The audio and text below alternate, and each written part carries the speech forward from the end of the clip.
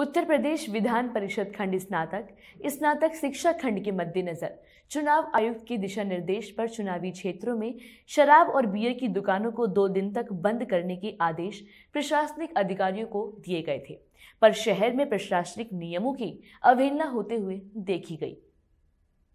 उत्तर प्रदेश विधान परिषद शिक्षक खंड व स्नातक खंड के चुनाव 1 दिसंबर सुबह 8 से शाम 5 बजे तक डाले जाने थे।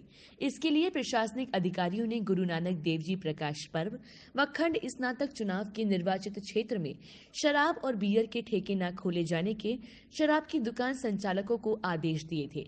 30 नवंबर के दिन सुल्तानगंज स्थित देसी शराब के ठेके पर शराब के शौकीनों को अवैध रूप से दुकान संचालकों द्वारा वीआईपी खिड़की से धड़ल्ले से शराब बेचने का काम किया जा रहा था। शराब विक्रेताओं द्वारा बंदी के दिन अवैध रूप से शराब बिकना कोई नई बात नहीं है।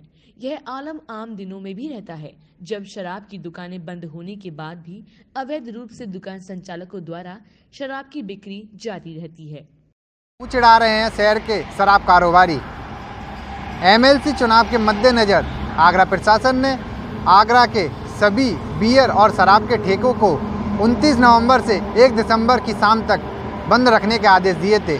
बावजूद इसके, सुल्तानगंज स्थित देसी शराब के ठेके पर धड़ल्ले से शराब बेची जा रही थी।